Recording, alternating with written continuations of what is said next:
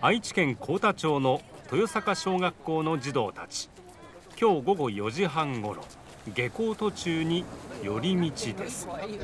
と言いましても学校公認の寄り道なんです。ここは通学路沿いにある自動車部品メーカーの敷地。設置されているウォーターサーバーの水は先月24日から今月19日までは豊坂小学校の児童はどれだけ飲んでもいいことになっています。その訳は？まあ、児童たちが、えー、通学の最中に、まあ、水が不足して倒れちゃわない、まあ、熱中症にならないように提供しております。鈴木化学工業所は夏の時期になると下校時に工場の前を通る児童たちの水分補給のためにウォーターサーバーを設置してきました。そのきっかけは？途中の会社に水を提供してほしいと言われまして。今年からこんな工夫も。冷たい水をもっと飲んでもらいたいということでここのタンクの部分を事前に冷蔵庫で冷やしておくことによってまあ10人か20人の子みんなが2杯ずつ飲んでも冷たい水を飲んでいただけるように今年から工夫しております鈴木化学工業所の本社工場からおよそ2キロのところに児童らが通う豊坂小学校はあります。そして工場から見て学校とは反対側の方向に上六栗地区があります。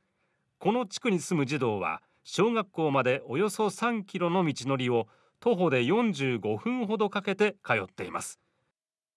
このため幸田町は児童たちの熱中症予防のため通学路沿いにある鈴木化学工業所に下校時に水を提供できないかを相談。2020年からウォーターサーバーを設置しています。めっちゃうまいです。めっちゃ美味しい。冷たくて美味しい。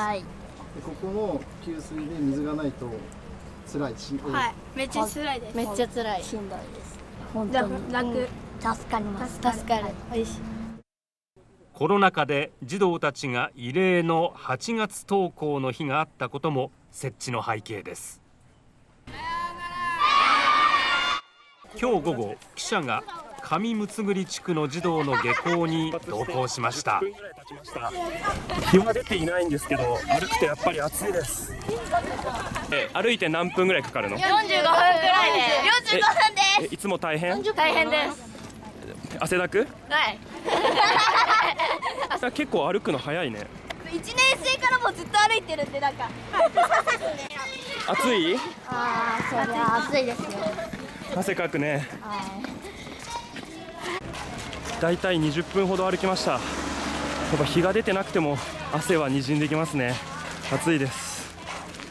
小畑社長によりますと1日10人から20人ほどの子どもたちがウォーターサーバーを利用するということです警戒しながらあまりこっちが声かけても話してくれなかったんですが、まあ、今は、まあ、みんな顔も分かるようになって会話もできるようにこれからもあの続けていくべきだと思って、えー、やっております